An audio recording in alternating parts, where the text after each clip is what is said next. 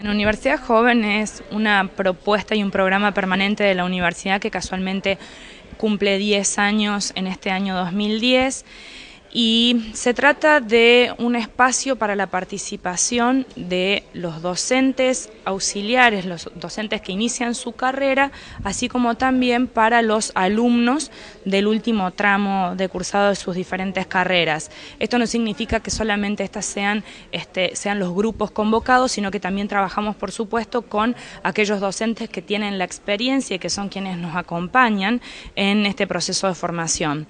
Eh, Universidad Joven hoy eh, convoca para el lanzamiento de las actividades de todo el año 2010 y se generarán las propuestas, así como la revisión de lo hecho en este, en este tramo de los 10 años, como recién decíamos.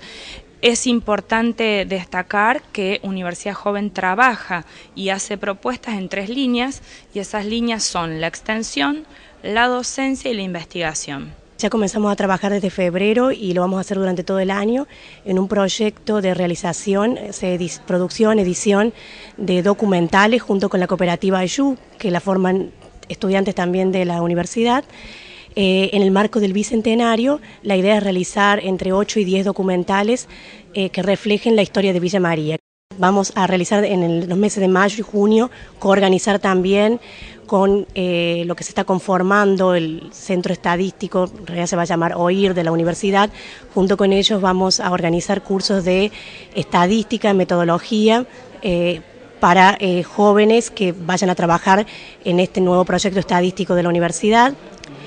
Em, para los próximos meses, o sea, en el segundo cuatrimestre, tenemos también eh, propuestas interesantes. Una es para el mes de octubre, donde vamos a realizar una jornada, un congreso para estudiantes y docentes.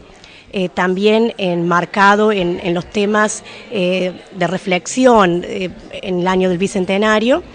Y finalmente en el mes de noviembre vamos a participar en un congreso de extensión en San Juan.